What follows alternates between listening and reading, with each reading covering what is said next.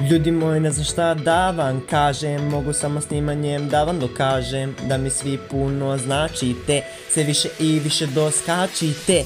Hvala vam puno na 500 suba Idemo dalje brzo iz cuga Penjemo se sve više do cilja Idemo preko hiljadu milja Konece pravi po ceo dan Pravimo najveći klan Bacite follow na Instagramu Da bih imao ja za salamu Ali bez toga se baš može živjeti Jer nije to toliko sporno.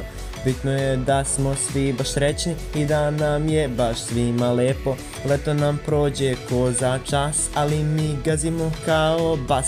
Ali opet naće se neki smarat i smarat će baš kao komarac A iskreno, koje be hejtere? Bitno je da ste vi tu, najjači fanovi. I hvala vam. Idemo dalje. Gazimo. Sve vas volim.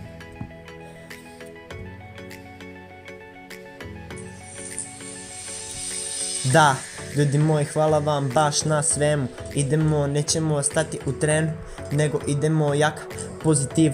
To je i najbolja perspektiva. Ljudi moji, hvala vam baš na svemu. Idemo, nećemo stati u trenu, nego idemo jak pozitiva.